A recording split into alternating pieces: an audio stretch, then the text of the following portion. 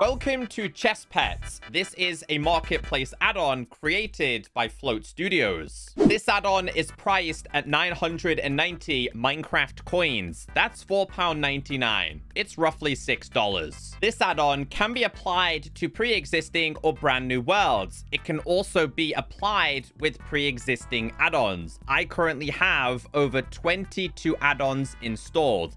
Enable the behaviors pack, double check your resource pack, make sure it's currently active, and then you're good to go. When you load into the world for the very first time, you will end up with the Chest Pets tutorial. This is a book that you can place down, and it says, craft your very own chest pets, upgrade and customize into the perfect Minecraft companion, fight mimics spawning at night throughout the world, gain chest pet hearts, used to awaken your chest pets. And here is all the type of hearts that you are able to get. Moving on to mimics. Mimics spawn at night, usually around villages. Defeating a mimic will drop a chest pet heart. Use these to awaken your chest pet. Mimics may also drop hats. You will start with this. This is Chesto. Place him down. So we need to awaken him. He's currently snoring. Aha, that makes sense as to why we have this. So this will be used... Oh, that's actually pretty cool.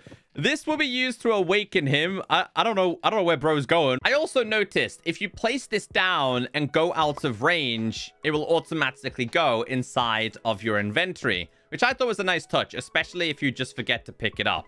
Anyway, moving on, we need to make ourselves a dormant heart. And to do this, we're going to need glass and emeralds. But do we also need this, which we actually used in order to awaken Mr. Chesto. Players will also be given the chest wand, which can be used to make Chesto stay.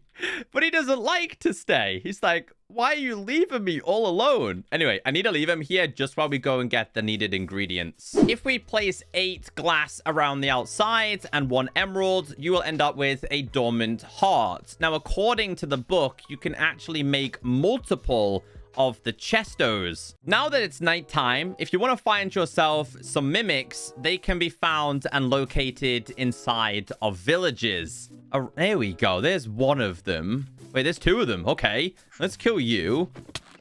So, oh, he died straight away. Aha. So we managed to get ourselves the chest heart. There's another one. How strong are you, though? I mean, he took a heart off me. Go get him, Chesto. Get him. Chesto's not happy. Look at those angry eyes. Who's stronger, though? That's the question. Come on.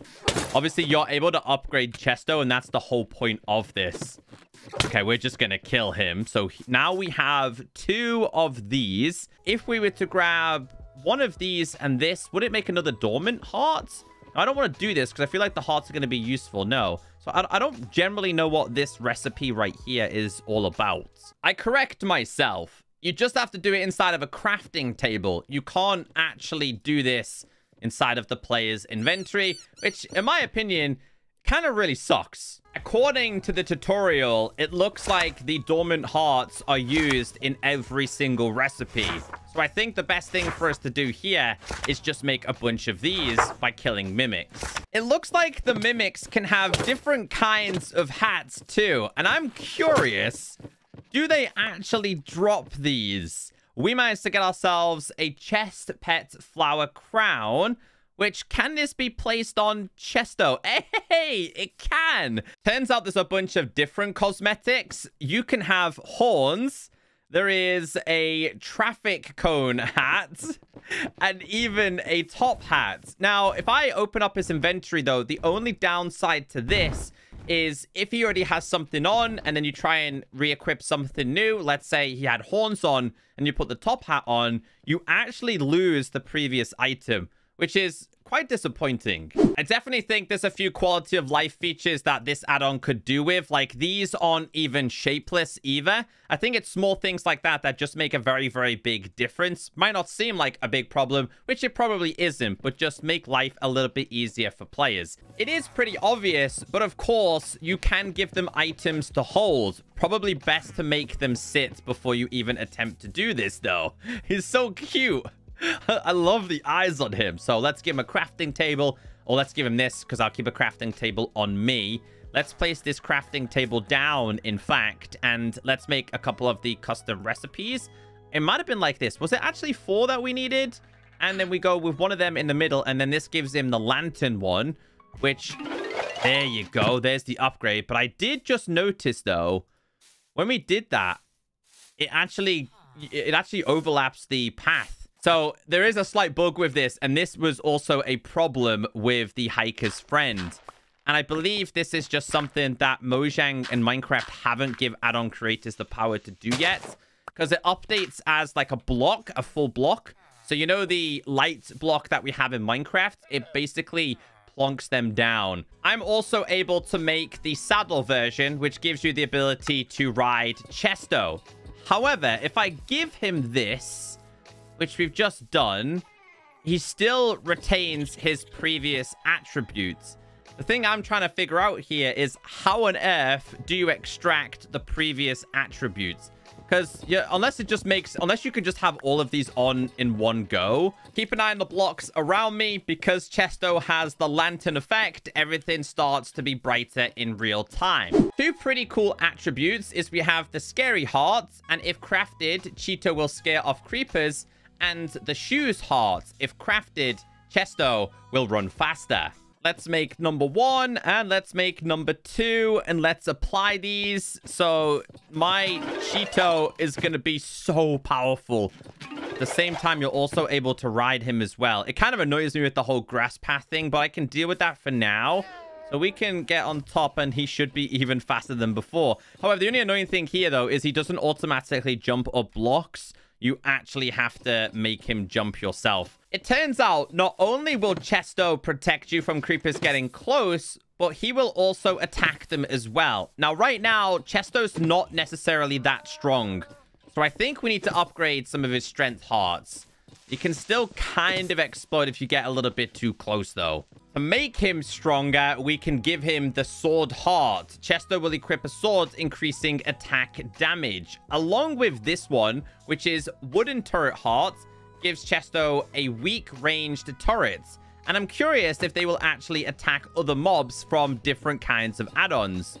So we'll give you the sword. There you go. And we'll give him the turrets. Bro is starting to become incredibly overpowered. Here we go. This is a perfect example. The zombies from the other add-ons. Come on, Chesto. Come on, Chesto. Get him. Seems to take a little bit of time to get over here, though, doesn't he? In fact, he doesn't actually seem to want to attack him at all. I can confirm it doesn't look like Chesto will attack other mobs that are available through add-ons.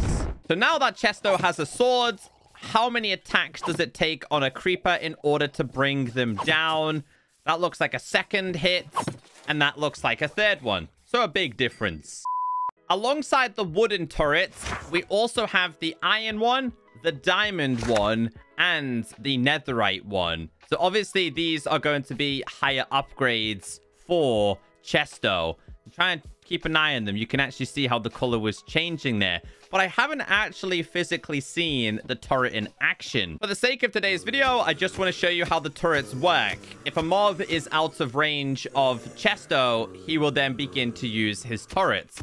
Eventually, this will knock the mob off a block, for example, and he will be able to attack them using his melee range. As you can see, the uh, AI of this isn't exactly perfect if Chesto's underneath, you'll see it doesn't work great. So he kind of needs to be on an angle. But you can see the amount of arrows he's trying to fire and it's not working very well. So let's see if we get him out of range a little bit.